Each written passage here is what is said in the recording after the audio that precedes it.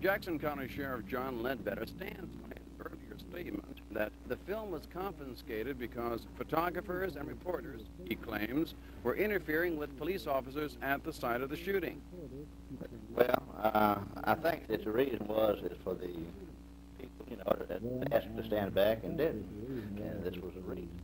And, you know, I know the news media has a right to gather the news, but also, in Mississippi, it is a felony to disobey the command of a police officer uh, at a scene of a crime where a killing or a criminal activity uh, taking place, too. Well, isn't it the normal procedure then to arrest someone if you See, we're trying to figure out why a film was taken instead of someone being arrested. That, that's what that the news media. Well, I, I think the reason the film was taken, it wasn't because interested in the arrest.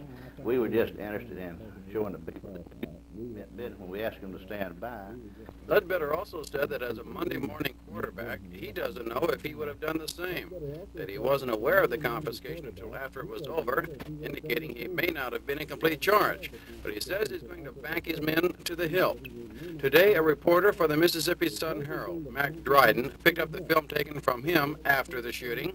He says all the photographers were behind police lines until after it was all over when the film was then confiscated. Chuck Stein, publisher of the North Biloxian, didn't have a camera.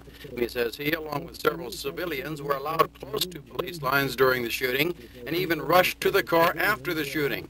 He says only those persons with cameras were held and ordered back.